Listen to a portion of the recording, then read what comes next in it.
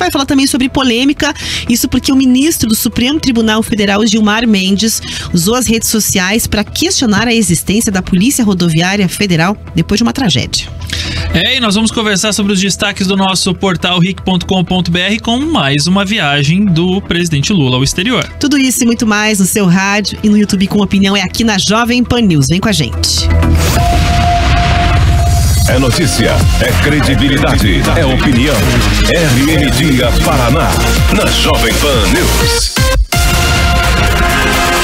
11 horas e 7 minutos. A gente começa esse jornal, é claro, falando de polêmica. O ex-juiz da Lava Jato, senador do Paraná, Sérgio Moro, e também o ex-procurador da Lava Jato, deputado federal caçado Deltan Dallagnol, rebateram as acusações que o Conselho Nacional de Justiça fez sobre o trabalho da operação. Você se lembra bem que a Lava Jato, após a saída de Sérgio Moro e Deltan para a política, passou ali por outras mãos e começou uma espécie de gestão um tanto quanto confusa, porque tudo que o Deltan e o Moro tinham feito nas suas instâncias, e agora eu vou direcionar especificamente à Justiça, porque é o CNJ é, que a gente está falando aqui, acabou sendo desfeito pelos seus sucessores de cargo. Então, muitos questionamentos foram feitos. Ué, então tudo que ele fez estava errado? Ou será que esse novo que assumiu e acabou afastado, esse novo juiz que assumiu a vara da Lava Jato e acabou afastado, foi quem errou? O que, que aconteceu? Porque tem, temos decisões muito divergentes e a justiça, em tese, em tese, ela é uma só. Você tem que olhar a justiça de maneira hermética, certo? Colocar ali exatamente, não é a livre interpretação. Ah, eu acho que nesse caso aqui o crime vai ser. Existe ali um balizador, certo? E o juiz, ele tem que seguir. Então, quando as coisas começaram a ficar muito diferentes uma da outra, se levantaram ali suspeitas sobre é, interpretações ideológicas, favorecimentos políticos e tudo mais. E o Conselho Nacional de Justiça, depois de um monte de manchetes saídas aqui do Paraná e da segunda instância, falou: vamos reavaliar o que aconteceu lá. Vamos por ordem na casa. Vamos lá olhar direitinho quem fez o quê, o que, que aconteceu. Fez um relatório. Nós, semana passada, estávamos cobrando aqui, eu e Eduardo Escola na escola, cadê os resultados desse levantamento todo? E agora saiu uma parcial temos uma parcial. Que, até eu estava procurando aqui nas redes sociais é, é, é, recortes dessa, desse relatório aí. E que bom que saiu uma parcial. Pode correr em sigilo, segredo, o que vocês quiserem. Mas a sociedade brasileira merece e precisa de respostas. Traremos agora algumas? Pois é, traremos algumas. Agora, o que saiu foi um relatório muito duro, né? Usando ali várias críticas em relação ao trabalho, principalmente de Moro, porque é do Conselho Nacional de Justiça, e no Judiciário quem conduzia as ações era ele, falando sobre falhas e apontando até uma, um termo que fala sobre gestão caótica da devolução dos recursos que foram feitos dentro da Operação Lava Jato. Então, assim, foi uma solapada né, que veio na sequência da decisão do ministro Dias Toffoli, que já tinha desmanchado o acordo de leniência. A impressão que se dá é que a justiça hoje vem tratando tudo que foi feito na Operação Lava Jato como um grande erro, que foi inclusive o termo que o Dias Toffoli usou para se referir à prisão do Lula. A gente vai conversar com a Beatriz Frener porque esse relatório não ficou sem resposta nem de Moro e nem de Dallagnol. Bom dia, Bea. Bom dia, Rafa, escola, bom começo de semana para todos. A gente vê sim essas repercussões, né, envolvendo esse relatório preliminar do CNJ em relação à correição que foi feita tanto na 13ª Vara Federal de Curitiba quanto no TRF4, ambos tribunais aí que são responsáveis pela Operação Lava Jato, mas essa correição que também foi executada ali no âmbito do Ministério Público. E Sérgio Moro, que esteve à frente da operação como juiz, disse que os acordos da operação, todos eles, seguiram padrões que foram inclusive homologados no STF. Seguiu então o mesmo padrão do STF e que esse documento que foi feito aí proferido pelo Conselho Nacional de Justiça, abre aspas, é uma mera opinião preliminar da Corregedoria do Conselho Nacional de Justiça sem base em fatos. Fecha aspas. Sérgio Moro, que atualmente é senador, também publicou um longo texto no perfil dele nas redes sociais, dizendo que os valores depositados em juízo não deveriam ser devolvidos à Petrobras antes do trânsito em julgado. Na última sexta, o CNJ publicou então esse relatório parcial da auditoria. É, O responsável é o ministro Luiz Felipe Salomão, do STJ. O documento relata que, abre aspas, o trabalho correcional encontrou uma gestão caótica no controle de valores oriundos de acordos de colaboração e de leniência firmados com o Ministério Público Federal e homologados pelo juízo da 13ª Vara Federal de Curitiba. Os acordos de leniência são para empresas e também os de colaboração premiada para pessoas físicas. Além de Sérgio Moro, Deltan Dallagnol também se manifestou. Ele que foi chefe da Força Tarefa da Lava Jato no Paraná, também fez críticas né, a esse documento do CNJ. Olha só o que ele escreveu na internet, abre aspas será uma oportunidade relevante para informar a sociedade sobre os questionamentos especulativos lançados no relatório, sem base em evidências que apontaram possíveis irregularidades. Nós não podemos ser um país em que os ventos políticos de vingança soprem dentro das instituições judiciais. Do contrário, nossa justiça representará o valor da justiça apenas em seu nome. Fecha aspas. Nós temos então os dois protagonistas da Operação Lava Jato, é, que já deixaram os postos aí como servidores públicos dentro do judiciário, mas que permanecem aí repercutindo essas alterações relacionadas à própria operação dentro de decisões judiciais. Nesse caso foi uma correição preliminar de um lado Sérgio Moro criticando aí os resultados, é, publicando também na internet uma espécie de indignação sobre isso, do outro Deltan Dallagnol até tentando aí promover um debate com o corregedor que concluiu essa análise. Volto com vocês. Obrigada, Beatriz, pelas informações para nossa audiência. Então, tá aí clara a insatisfação do Deltan Dallagnol e também do Sérgio Moro. Quem está no YouTube com a gente pode acompanhar o tamanho do textão que o Sérgio Moro conseguiu colocar no X ou, ou Twitter eu nem sabia que tinham liberado tantos caracteres assim, na verdade, né? Mas enfim. Acho que quem tem o selinho pode, né? ah, então. Eu acho. Mas, então, mas é um textão ali, parece redação de vestibular. É enorme, pra você ter uma ideia mais ou menos da nota. É claro que a gente não leu todos os pontos ali. A Beatriz, ela trouxe um resumo do que foi postado.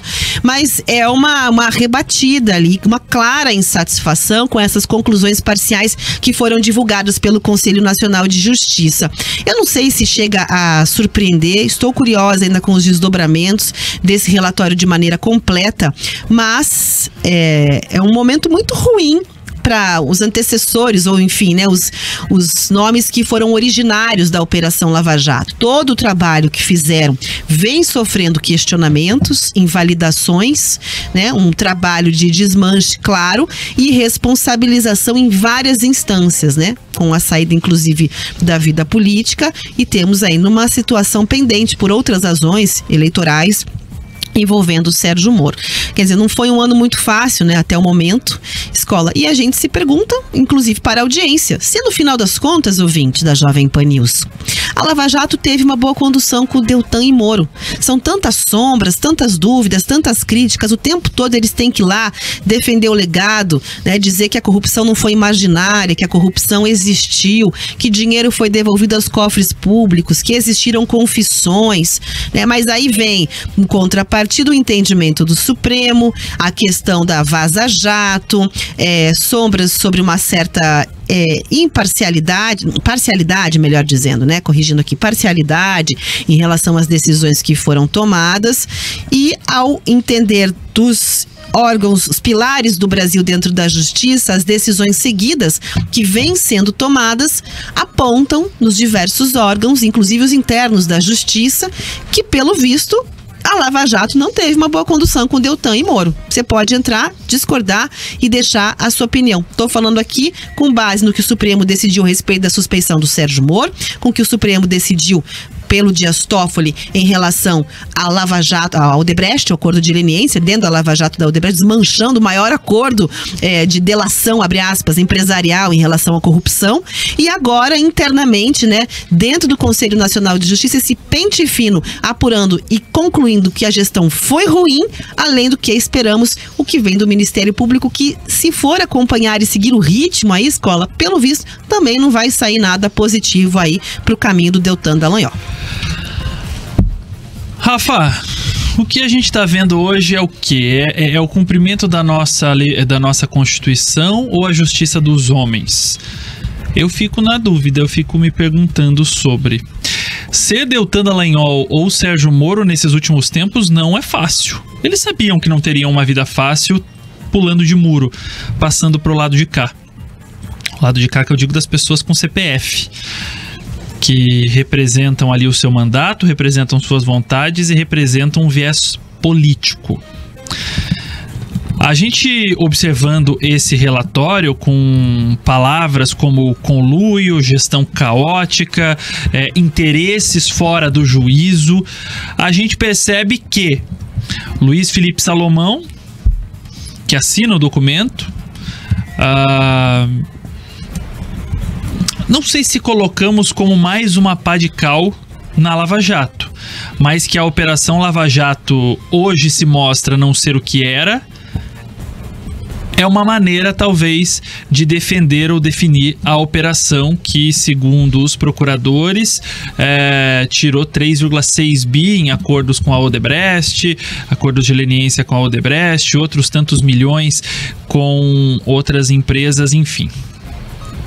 É, aqui no relatório, eu estou com ele aberto aqui, o, o, o PDF do Conselho é, Nacional de Justiça. É, Agora o próximo passo é enviar para o plenário, né? relatório pronto, o julgamento do plenário do Conselho Nacional de Justiça eh, e aí as providências que serão colocadas em relação a um juiz que não é mais juiz, a um procurador que não é mais procurador, a uma operação que talvez mudou o foco, mas o grande salto, ou talvez o pulo do gato desse relatório, é em relação ao que a preocupação que nós trazemos aqui, ou trouxemos aqui, em relação à operação. Se abrir uma mínima brecha para perdoar um, terá que perdoar todos.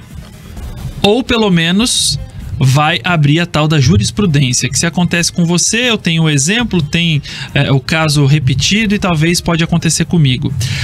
O Brasil caminha a passos a, a, a passos largos para fazer a operação Lava Jato ser um fruto do passado, viu, Rafa? Pelo pois menos é. com essa análise, ou pelo menos essa avaliação do, do CNJ, porque as palavras são duras usadas são. Pelo, pelo corregedor, pelo, pelo corregedor, né? Pelo Luiz auditor, né? O Luiz Felipe, só posso chamar de corregedor, né? É, o que ele traz lá, ele chama de uma gestão caótica, ele questiona todos os acordos de delação premiada que foram fechados, quando as pessoas que tinham cargos importantes em empreiteiras, empresas privadas ou públicos confessaram, né, relações combinadas envolvendo aí corrupção. Também os acordos de leniência, que a gente explicou já, é paralelamente uma forma de delação também, mas para as empresas, né? Diz que existiu lá um conluio, né? São, são termos muito, muito pesados, muito duros mesmo, como você bem pontuou, escola, né? Dizendo que os acordos, esses acordos que eram feitos dentro da Lava Jato, eles eram homologados pela vara sem todos os documentos que teriam sido necessários, como se, né, apresentando ali indícios de irregularidades, né? Falando que as circunstâncias eram circunstâncias estranhas para fechar esses acordos, que os funcionários, os servidores né? Digamos, Ministério Público, né? Justiça responsáveis pela essa condução é, também entenderam que poderiam se beneficiar. Existiu na época um interesse em criar uma fundação da Lava Jato. Você ouvinte, não sei se você se lembra disso, né? Que era para quando foi recuperando muito dinheiro de fora, existiu uma dúvida: o que, que a gente vai fazer com esse dinheiro? Vai devolver para o Estado? Mas não foi no Estado que aconteceu a corrupção? Não foi no governo federal que teve a corrupção? Né? A gente vai receber e vai devolver ali? E retornar. O, o que, que a gente vai fazer? Então surgiu essa ideia de criar uma fundação que poderia fazer essa gestão de melhor maneira, acompanhando acompanhando o direcionamento dos recursos, em vez de cair para um caixa sem fundo do Estado, que ia para pagar coisas aleatórias. Sendo até que o dinheiro era da Petrobras e a devolução, no entender dos procuradores à época, deveria ser feita para a Petrobras, não para o governo federal depois aplicar em outros programas e outras coisas que quisesse, outros fins, certo? Não foi à frente essa ideia, mas é, o, o CNJ diz que existe a existiu um possível conluio envolvendo os operadores por esse sentido de querer que a fundação da Lava Jato fizesse essa gestão para a Petrobras, né, numa, e que eles explicaram à época numa coletiva era uma intenção de abre aspas proteger ali é, o dinheiro desse trabalho de devolução. Então tem cita lá os acordos da Odebrecht, que esse que acabou que, enfim, nem existe mais, né? Basicamente foi anulado, da Braskem, de outras empreiteiras, fala que a conduta foi a, considerada absurda pelos técnicos, faz um desmanche total esse relatório parcial aí. Não foi técnico. É, da Operação Lava Jato, assim, né? Tem várias é, alfinetadas, digamos, quando você vai lendo os termos que são usados, no sentido de que é isso, uma gestão caótica dos recursos públicos, uns acordos construídos de maneira absurda, e aí o Moro e o Deltan é, respondendo, mais uma vez, né? Respondendo em pouco tempo ali a críticas e avaliações feitas a respeito desse trabalho. Eu fico me perguntando, depois que esse relatório for divulgado na íntegra, quais serão as medidas tomadas, porque, enfim, o que, o que ainda mais há de vir pela frente. Enquanto o CNJ, o Supremo, né, enfim, outras instâncias vão provocando ali dores de cabeça para os condutores da Operação Lava Jato original, vamos